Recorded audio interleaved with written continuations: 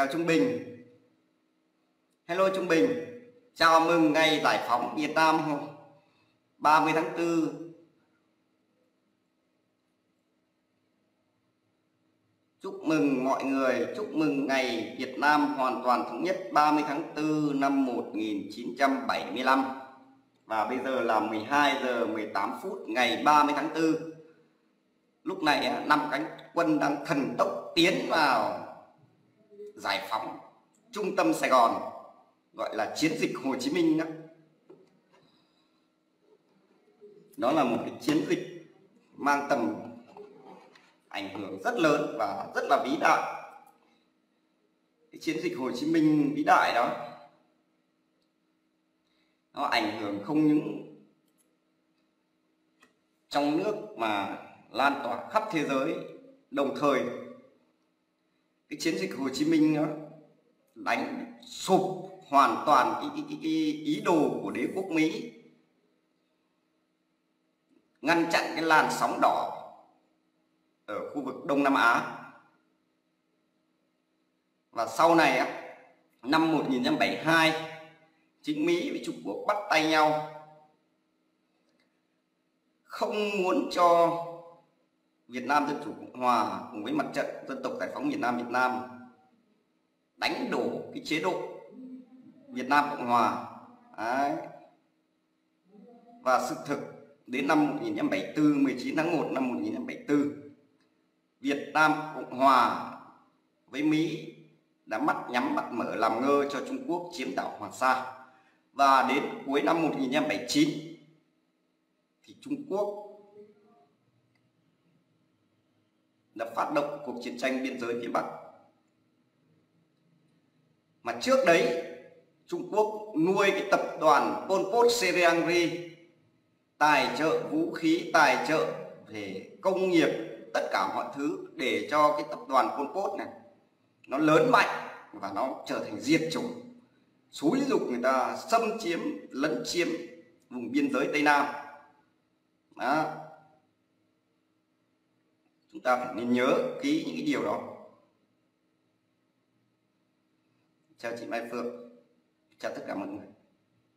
Ở đây anh Huy anh ấy hiểu rõ nhớ về lịch sử nhất. Thì những cái mốc thời gian ấy kể ra là nó rất là dài dòng. Chúng ta chỉ kể vắn tắt thôi.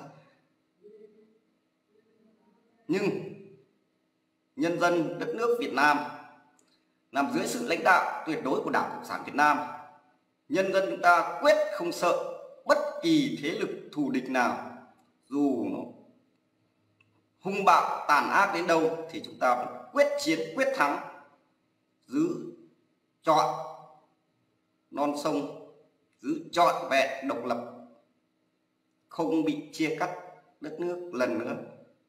Đó là cái niềm vui và niềm hạnh phúc lớn nhất của dân tộc Việt Nam chúng ta.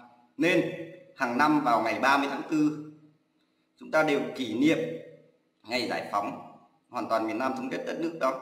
Chính vì vậy, cái đám que củi gà què, cái đám cựu binh của Việt Nam Cộng Hòa, nó tức tối và những cái thành phần dân chủ cuội nó lợi dụng vào vấn đề này. Nó hô hào, nó kêu gọi. Nếu Việt Nam, nếu ở Đảng Cộng sản Việt Nam muốn hòa hợp thì đừng kỷ niệm ngày giải phóng 30 tháng 4 đó là cái luận điệu xuyên tạc. Mục đích của bọn chúng nhằm làm cho thế hệ con cháu chúng ta quên đi cái quá khứ lịch sử đau thương, mất mát, bi hùng và hoành tráng đó. Đó là cái bản chất của bọn chúng. Nhưng người dân Việt Nam từ trước đến giờ cứ đến ngày 30 tháng 4 là ta được nghỉ lễ, đi du lịch tham quan. Năm nay tình hình dịch bệnh nó hơi căng thẳng cho nên ấy, nhà nước đảng nhà nước cũng có khuyến cáo cán bộ công chức đi tham quan đi du lịch. Thì nên khai báo y tế khẩu trang diệt khuẩn cách ly và không tập trung đông người. Đấy là những cái gì mà mà, mà đảng nhà nước người ta cũng đã chăm lo sau ngày giải phóng 30 tháng 4 năm 1975 trải qua 46 năm thì đất nước ta cũng gặp rất là nhiều biến cố đặc biệt là cuộc chiến tranh biên giới tây nam và chiến tranh biên giới phía bắc. Và sau này lại tiếp tục bị Mỹ được cấm vận. Sau khi giải phóng sau khi không còn chiến tranh nữa, Mỹ lại tiếp tục cấm vận. Đến năm 1995 Mỹ mới dỡ bỏ hoàn toàn lệnh cấm vận thì đất nước Việt Nam chúng ta bước ra từ nền nông nghiệp lạc hậu.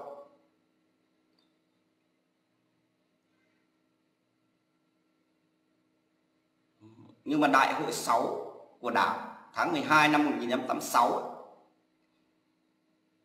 đã đi một cái chủ trương, một cái bước rất là táo bạo, thay đổi những nền kinh tế thị trường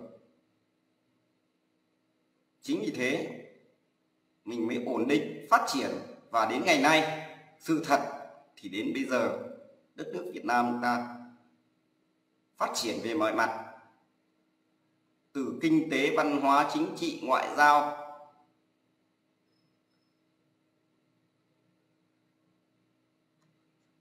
trong cái đại hội 13 của Đảng vừa rồi,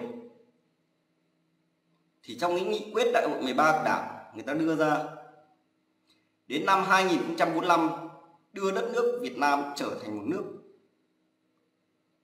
cơ bản là công nghiệp và là một nước Việt Nam hùng cường.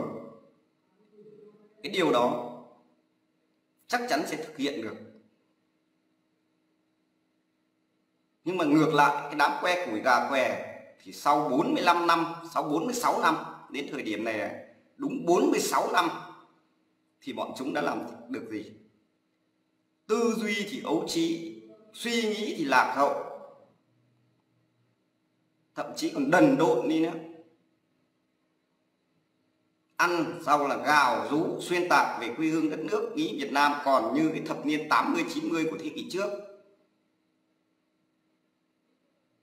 Cái điều đó, bọn chúng biết, thừa biết, mà bọn chúng không dám nhận và không dám thừa nhận.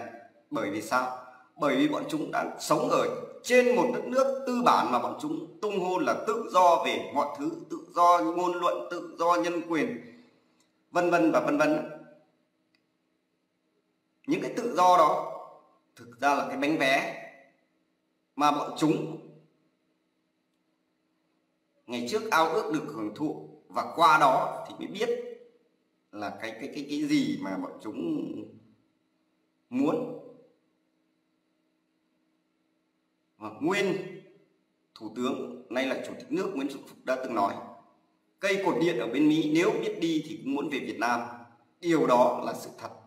Và bây giờ đặc biệt là dịch bệnh như vậy hầu như công dân Việt Nam và nhiều công dân ở các nước khác như Trung Quốc, Anh, Pháp, Mỹ vân vân ở trên thế giới này người ta có điều kiện thì người ta còn muốn nhập cảnh vào Việt Nam hoặc là tìm mọi cách trốn qua đường tiểu ngạch nhập cảnh trái phép vào Việt Nam. Bởi vì sao? Bởi vì ở Việt Nam đất nước Việt Nam an toàn về mọi mặt an toàn về chính trị phát triển về kinh tế. Y tế tuy rằng 8 bác sĩ à, 8 bác sĩ đúng không? 8 bác sĩ trên 1.000 dân cái tỷ lệ đó thấp hơn với các nước phát triển rất là nhiều các nước phát triển 18 đến 22 bác sĩ trên 1.000 dân, còn Việt Nam chỉ có 8 thôi.